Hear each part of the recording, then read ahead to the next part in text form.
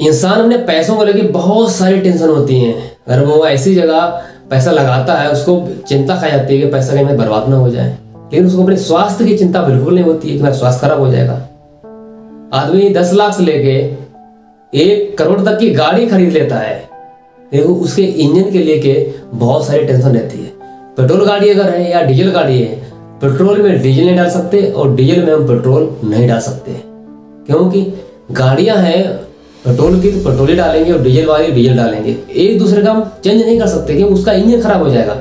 क्या कभी आपने ये सोचा है कि आपका बेस रूपी शरीर जो बहुत सारा कीमती है क्या इसमें डाल, इस टंकी में डालने से पहले आपके मुँह में जो जहर जाता है मतलब कि पान, पुड़िया, गुटखा, शराब, सिगरेट, जो भी जाता है, कि आपने कभी सोचा है कि इसकी भी टंकी खराब हो सकती है? आपकी किडनी, लीवर फेल हो सकते हैं। कभी नहीं सोचा।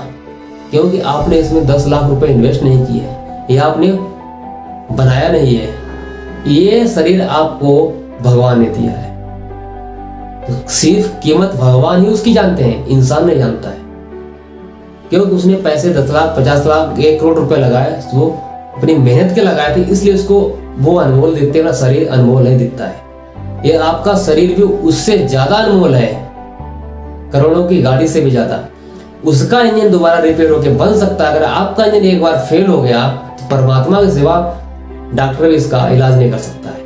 इसलिए अपने इस अनमोल शरीर का, इस इंजन का भी ध्यान रखें, क्योंकि लोग बहुत शौक से खाते हैं चीज़ें। जो जहर का काम करती हैं आपके शरीर के लिए। आप कभी भी, कभी टेस्ट कराना जाके आपके जो लीवर लीवर है जगह कितने धब्बे पड़े होंगे।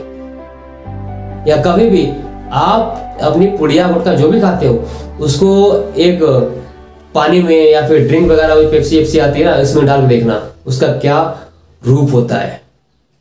क्या उसका वेव्स नीचे इकट्ठा होता जाते हैं? क्या वो निकल जाते हैं सब अंदर जाता है ना? कितना भी कम बार हो, तब भी अंदर जाता है। लेकिन आपको ध्यान रखना चाहिए कि आप एक आम इंसान हो इस दुनिया के लिए।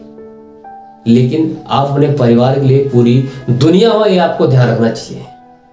इसलिए अपने स्वास्थ्य का ध्यान रखें और इन चीज़ों को इग्नोर करने की कोशिश करें और छोड़ने की भी कोशिश करें। एक सोचने वाली बात है बहुत अच्छी बात है। गुरुद्वारा हो, मस्जिद हो, चर्च हो या मंदिर हो, हम यहाँ पे दारू पी के कभी भी नहीं जाते हैं। क्योंकि हम पूजा करते हैं, पूजनीय भगवान है है ना? लेकिन हम घर में पीकर क्यों जाते हैं? जहाँ पे हमारे पिता, हमारी माता, हमारे चाचा, ताऊ, ताई, भाई, बहन सब घर में रहते हैं हमसे बड़े।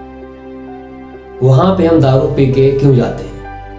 वहाँ पे सम्मान देने वाली पत्नी होती है, सहारा देने वाले बड़े लोग होते हैं, चाचा, ताऊ, ताई ताई, भाई, बहन, माता, पिता, सब लोग होते हैं आपको सम्मान देने वाले और सहारा देने वाले। आपसे कोई अगर गलती होती है तो समझाने की कोशिश करते हैं। तो इन चीज़ों को आप दूर करें और अपने परिवार को सपोर्ट करें। तो लाइफ में बहुत सारी चीज़ें आएँगी, जाएँगी, लेकिन जो आप कर रहे हो बहुत सारे लोग ऐसे हैं जो दारू पी के सारा जलवा अपने घर पे दिखाएँगे जाके इसको गाली दिया, उसको गाली दिया तो ये गलत है। जब आप मंदिर नहीं जा सकते हो, मस्जिद नहीं जा सकते हो, गुरुद्वारा नहीं जा सकते, चर्च नहीं जा सकते हो तो घर पे क्यों जाते हो? जहाँ पे आपसे बड़े लोग रहते हैं। वो भी किसी भगवान से कम नहीं होते। चाहे आपका बड़ा भाई हो, चाहे आपकी पहली बहन हो, या फिर आपके माता पिता हो, या चाचा हो, ताई चाहे जो भी फैमिली आपसे बड़े हैं, वे भगवान का रूप होते हैं। क्योंकि आप उनके पैर छूते हैं। वो आपको आशीर्वाद देते हैं कि आप कुछ अच्छा करो। आशीर्वाद इसलिए नहीं देते हैं तुम जाओगे जाके दारू पियो जाके। इसीलिए इन चीज़ों को आपको ध्यान में रखना चाहिए। But please keep smile in your life हँसते रहो, मुस्कुराते रहो और अपनी सेहत का ध्यान रखो, जो आपके लिए बहुत ज़्यादा लाइफ में इंपॉर्टेंट है।